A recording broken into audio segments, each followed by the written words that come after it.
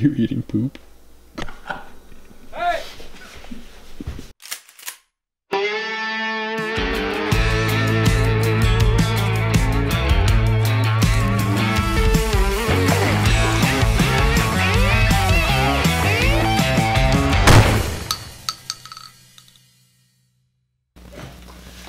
Welcome back to Creek Kings. All right, so on today's episode, we're going to be talking about tree stands. Basically, a beginner's guide to hunting from a tree stand. Your basic knowledge of how to hunt a tree stand, things to avoid, things you should know before hunting a tree stand. Because as you know, there are different methods of hunting. Obviously, you can hunt from the ground. Um, you can do a spot and stalk. Wouldn't really recommend that. Um, you can do He's a big boy. He needs his protein.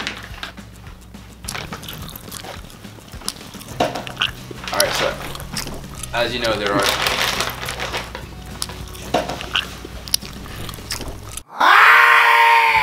there are different methods to hunting. So obviously, you can hunt from the ground.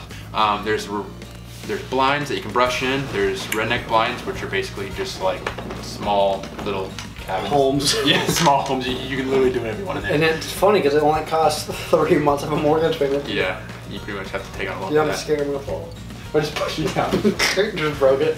Um, but the most popular method of hunting would probably be the tree stand. Any any hunter can probably tell you that. It's probably the most cost effective. In my opinion, I've had the best luck with it. One of the pros for hunting a tree stand would be your field of vision and your field of view. When you're in a tree uh, versus like a blind where you just have like little windows, if you can look around you, you can pretty much see, de- depending on the tree that you have, 360 degrees. And that is invaluable.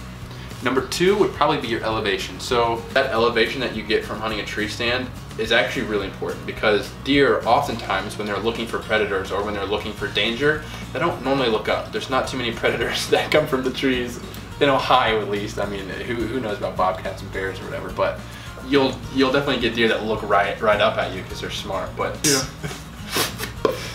um, So their eyes on the side of their head. So imagine if your eyes were on your cheeks or your dimples. You freaking look like a weirdo, first of all. Um, can you imagine? I got my eye on you. but they see in uh, bands, so they can only see so far. So that's why you'll see them scanning. They'll be looking, And then they'll, bring look their at head you down and look up. because they're trying to find you um, in their vision, their field of vision, basically. So speaking of elevation, whenever you're hunting a tree stand, um, Mm-hmm. they typically you can buy them at what like 18 to 25. Like that's your range as far as like what you can actually buy like a ladder stand. I have not seen any anything more than 20, and 20 is a false advertisement because it is. Yeah. Like you, you, you're typically only about 17, 18 Mm-hmm. foot maybe.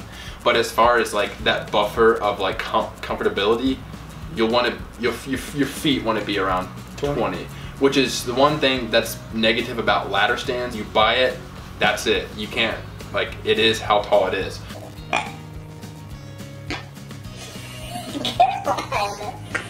yeah, that was. I was pushing so hard to let the fart out that I ended up. Bur- oh my gosh! Bro, it smells like grilled cheese and rotten eggs. It smells like beef jerky. It smells like the man. smells like 23 flavors of. Dagger baby. So ways you can buy a ladder stand, which already comes pre-packaged. The pro to that is that it's already pre-packaged. You don't have to buy anything else. And the cons of that is that it's it can only be a certain height, and maybe for like the area that you want to hunt, it needs to be a little higher. Unfortunately, a ladder stand won't be able to provide that to you. There's another way, which is basically um, you can buy these little sticks that you can put into the tree, and then you can drill them in, and then you can put as many as you want, climb as high or as low as you really need, and they're pretty cheap too, but they're a little bit hard to put in.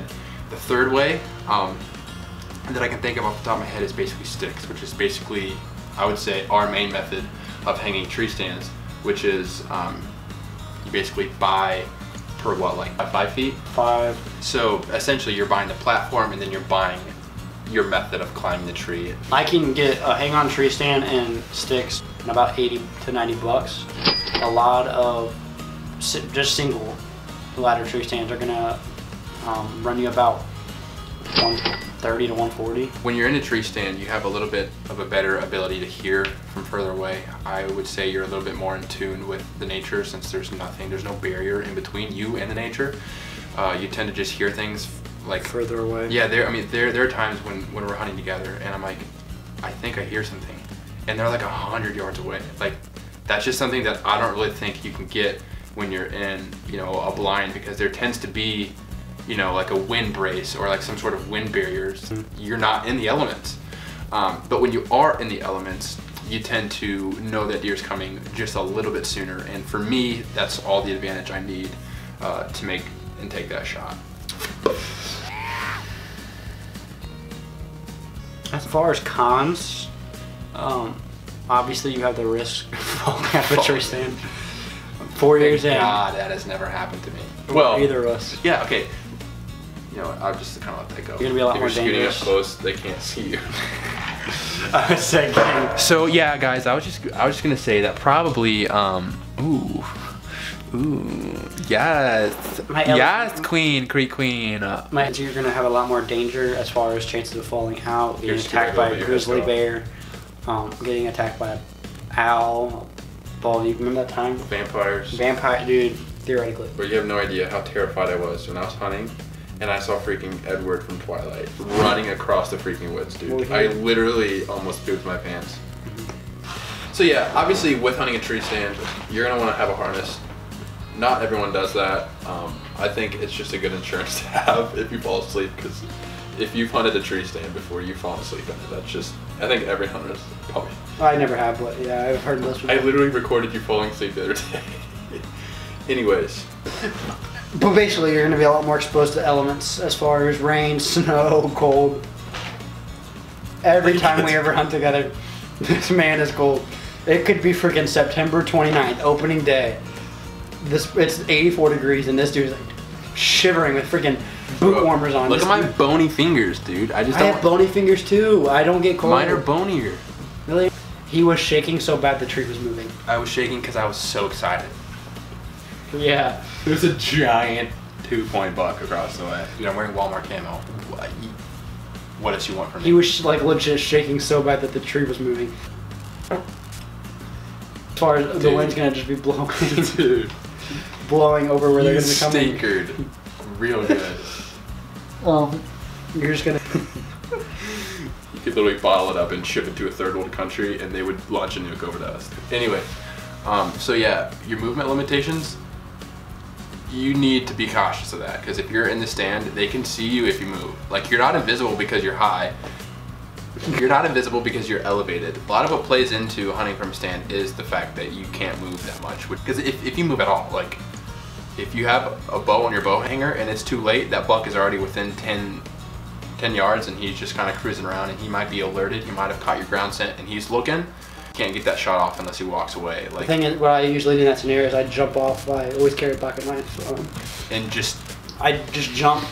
when you jump off, do you like try to do you like try to saddle it? Yeah, I try to saddle like a horse, and I grab his antlers at first just to feel the mass because I get a kind of rough swarm on the while I'm on his back. Meanwhile, that's why you have like a padded crotch, so that when you jump out of That's the the stand perks about Sitka. and you land on it, Mhm. you know, obviously, yeah, it's it's, it's gonna be screaming, but it's not gonna hurt so bad. Another thing that you got to think about when you're doing a tree stand is you got to find the right tree. The tree has got to be mostly straight. We want the straight ones. It's hard to find good straight trees like that that have good backdrop cover and good stuff basically to break up your silhouette. What is it? It smells like oh my god, it's such a big deer. Come here, come here. I've seen your deer. I know, but bro. it's not angles. Look at this. Show them. Does it look big? Zoom out. That's pretty big. I've seen your deer like a hundred. I know, but they haven't. They've only seen like 20. Do you want this cupcake or not? Looks like poop.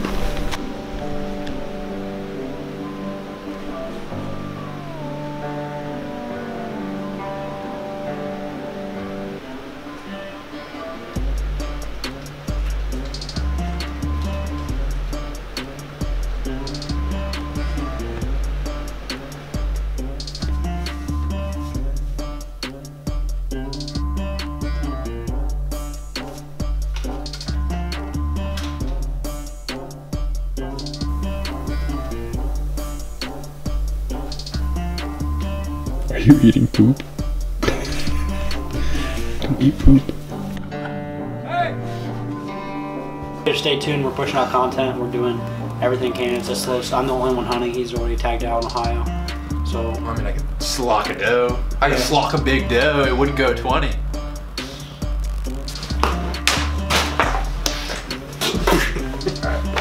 But anyways, thanks for watching the video. If you've honestly, if you've gotten this far, then it means that you're a real true fan. We appreciate it. Merch to come in the future, maybe, but we do want to say that there's a 100 subscriber giveaway where you get a This chance to win this for free. We'll send it to your address. Let us know, but you got to you got to be a, in the first 100 subscribers. and share share it to one share to one person. Okay, check out check out this outdoor channel with these guys that are funny. share it to one person or I'll find you and I'll I'll find your address and I will send you a strongly written letter of disapproval. Um, Creek Kings out. Ooh, I look good blue. I look good white too. Peace, Creek Kings out. These guys. Good one.